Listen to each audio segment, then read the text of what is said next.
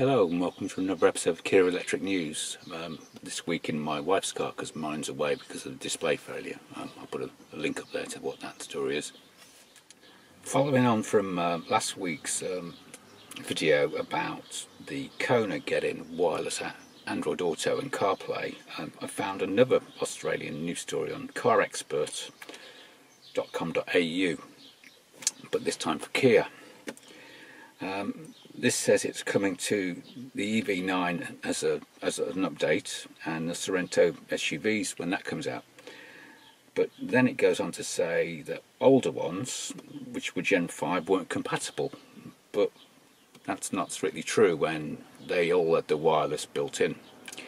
Um, also, the Ioniq 6 as a Gen 5 head unit and has over the air updates. And again, uh, that's in conflict with that, so th this is not right. Um, also, um, when the Ioniq 5 was first launched, it had wireless Android Auto and CarPlay turned on, but was later disabled in um, an update.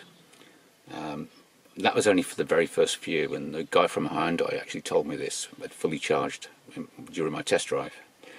So it's as clear as mud whether or not the older head units are going to get um, this wireless update. But I think probably not because of the cost. Um, but we shall see anyway.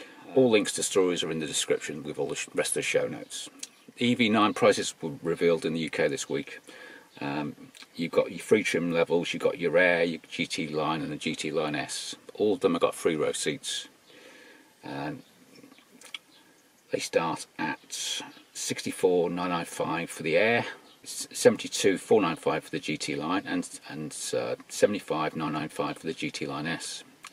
And they all have a 99.8 kilowatt hour battery.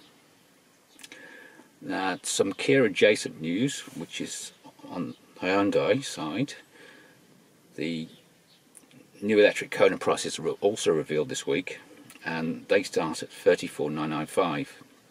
This is a slightly bigger um, new shape, multiple LED Kona, so slightly chunkier. Um, for that 34995, the battery size is 48 kilowatts and a, a slightly lower powered um, electric motor.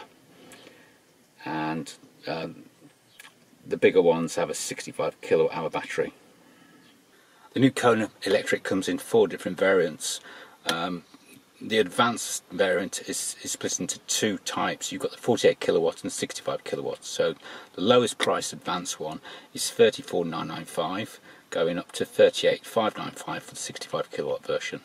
Then you've got the N then you've got the N line 65 kilowatts starting at 40395, the N line S at 43095 and the Ultimate at 43095 as well.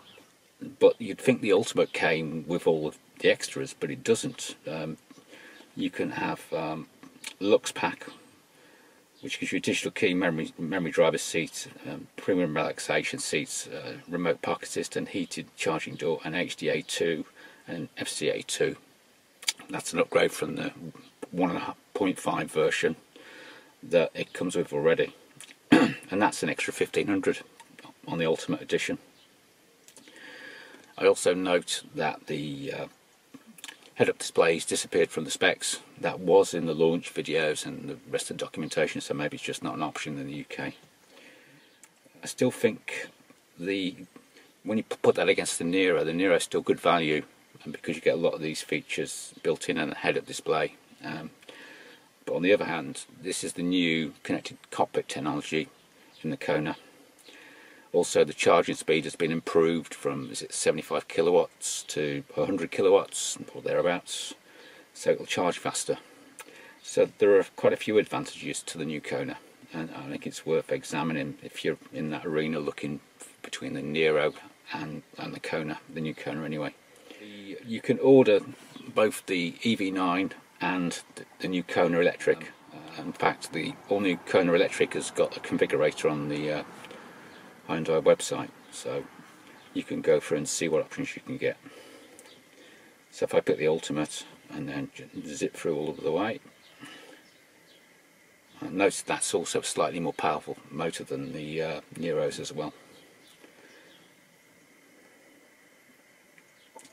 And then you get the option to the Lux pack which is dig digital key and the uh, extra driving functions and the driver's seat and there's also a leather pack as well. If you pick all of those, that brings it up to 45k. I still think it's a slightly better looking car than the Niro. Um, don't know. When I come to change my EV6, um, I'll be I'll be thinking long and hard. But uh, hopefully, I can have another EV6, despite my, my issues. anyway, thanks for watching.